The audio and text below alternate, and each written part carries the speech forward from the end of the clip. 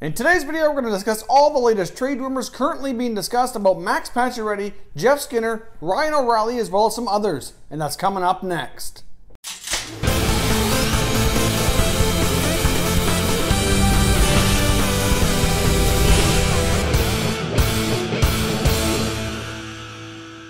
Hey everyone and welcome back to another video here at Top Shelf Hockey. If you're new to the channel, thanks for stopping by.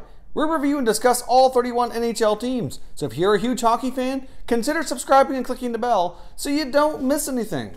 So as I mentioned off the top, there's a lot of trade rumors floating around. Obviously, we've seen a few smaller deals here go down in the past few days. The draft wasn't as active as we originally thought it was going to be. We've got free agency coming up on July the 1st, and there's a lot of teams right now trying to figure out how they're going to proceed with their offseason here. We could see a variety of moves here in the coming days as a lot of teams kind of jockey for position and get themselves in best situated for free agency, as well as making some good old hockey trades here just to improve their teams moving towards next season. So let's discuss some of the big names that have been floating around here over the past number of weeks leading into the draft that have still not had any trades, and some of these are kind of newer ones as well. So let's first start off here with Max Pacioretty of the Montreal Canadiens. Now, it was being reported at the draft that the Habs were very close on, on multiple occasions to trading him out to a Western California club. Uh, the first one was the LA Kings. Seems as though the deal with the LA Kings, the main sticking point was the uh, contract extension that Pacioretty was being offered from LA to go along with the trade. That was one of the conditions, is that he would have to agree to an extension. They were not having an easy time coming to an agreement there. I'm not sure exactly what it was, if it was number of years or dollars,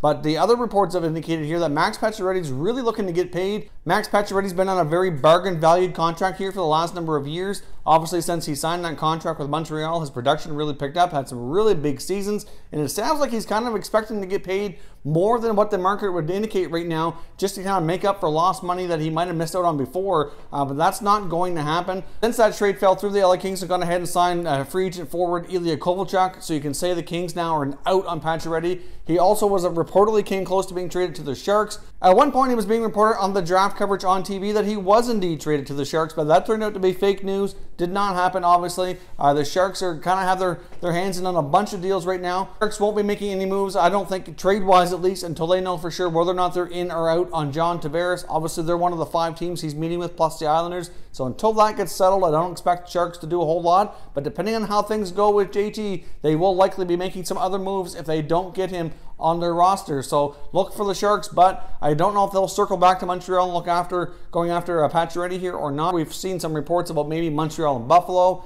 even though they're in the same division. Maybe an O'Reilly for Pacioretty type of trade. That could work for both sides, giving the Habs a center, giving the Sabres a scoring winger. Uh, so that's a possibility. It's also been heavily rumored that Pacioretty would really like to go play in Florida as well. So as we all know, the Panthers already acquired Mike Hoffman, so that might take them out of the mix for Pacioretty. And the Tampa Bay Lightning are in on John Tavares right now as well. Um, so, you know, obviously that's uh, kind of tying things up with Tampa right now. So it's hard to say. We might be at a little bit of a stalemate here until the Tavares situation settles itself out. Uh, if Tampa were to make a deal with the Habs, though, uh, which again is a little bit you know, just because they're in the same division isn't something that you see very often, but perhaps uh, for them to bring in another player like a John Tavares or a Max Pacioretty or any other bigger name players that need to have a, a larger or valued contract, Tyler Johnson will likely be the guy going out, and obviously he plays center, so maybe he could help the Habs.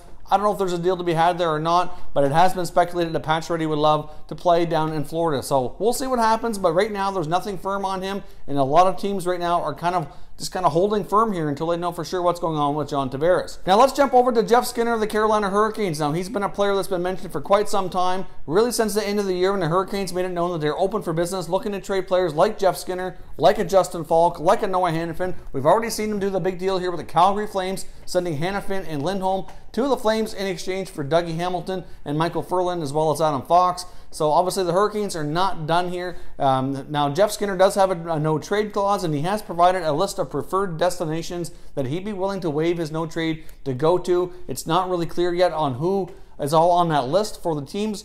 However, I will say this, with the move that we saw the Penguins make earlier today, uh, shipping out Conor Sheary as well as Matt Hunwick, the Penguins have been linked to Skinner. So hard to say for sure if Skinner ends up going to Pittsburgh, but it would not surprise me as well. Uh, and if it's not Skinner that the Penguins are going after, they may very well go after Justin Faulk because they could use an extra winger and they could also use some help on the back end.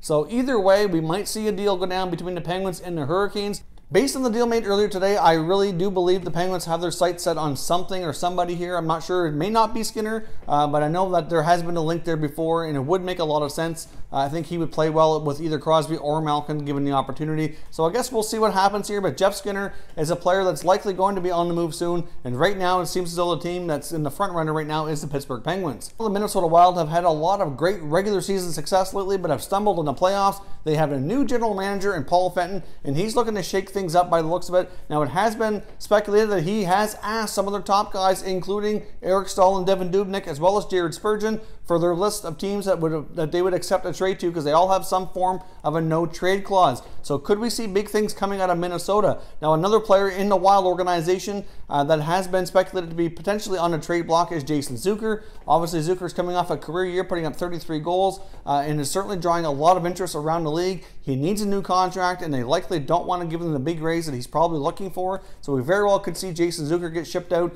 Now with Eric Staal, back to him for a moment. He had a basically a renaissance season last year, revitalizing his career, uh, hitting 40 goals, which nobody's seen coming. So he has an extremely valuable contract based on what he put up last year. And if you had to bet on him doing it again, it's probably a bet you wouldn't want to take. So should the Wild sell while his value is high and maybe bring in some uh, younger players to kind of help this organization longer term? It's certainly something I've mentioned in the past, and maybe that's the direction they're heading down. Uh, but either way, the Wild certainly have a number of players that appear to be on the block, and that Paul Fenton is looking here for the right moves. Uh, there hasn't been any specific teams linked to Eric Staal, but we have seen a lot of the teams in Western Canada, including the Canucks, the Flames and the Oilers all appear to have interest in Jason Zucker. No guarantees of all, obviously, that he goes there. We'll see what happens with Jason Zucker going forward, but he does need a new contract, and uh, we'll see what happens here in the coming days as we head into free agency. We've already touched on the fact that the Habs and the Sabres might make good trade partners if they were to consider a Pacioretty for O'Reilly deal, but jumping back to Ryan O'Reilly, there are lots of other teams that are apparently kicking tires on O'Reilly, and it doesn't sound like the Sabres are totally sold on trading him. Looks as though their asking price is quite high, and the reason we never seen a deal go down at the draft was that they're just nowhere nobody was coming close to their asking price, and they're willing to kind of sit and wait and see how this plays out. They're not in a big hurry to move him along.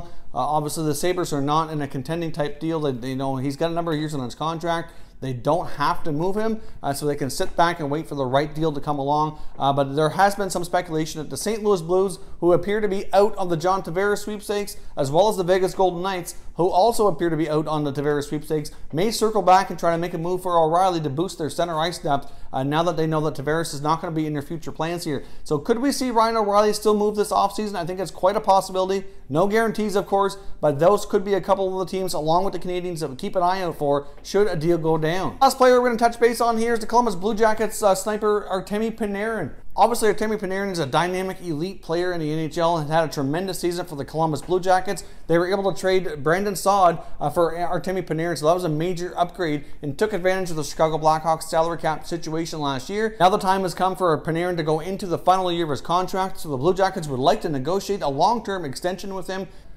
When the player and his agent were approached about talking extension, they were told that they were not interested at this time in signing an extension. We've seen some reports indicating that Artemi Panarin would prefer to go to a bigger market team like a New York Rangers or an LA Kings or a Toronto Maple Leafs or any teams that kind of get bigger markets, more exposure. At this point in time, looks as though there may not be a whole lot to those rumors that Panarin actually wants out. The fact that he doesn't want to sign an extension right now, uh, to me, I wouldn't panic. I was the Blue Jackets. I do understand though their position that if they can't lock him up long term, and they're uh, concerned about losing him, that they would prefer to trade him and get some assets back rather than have him walk after next year. So I completely understand from a business perspective, but at the same time, it was kind of positioned that he would rather wait until the fall, see what else they do in the offseason here, see where this team is headed in the right direction before he commits long term. And really, as a player who's been in the league now for a little while, is going to be a UFA status. He certainly earned that right.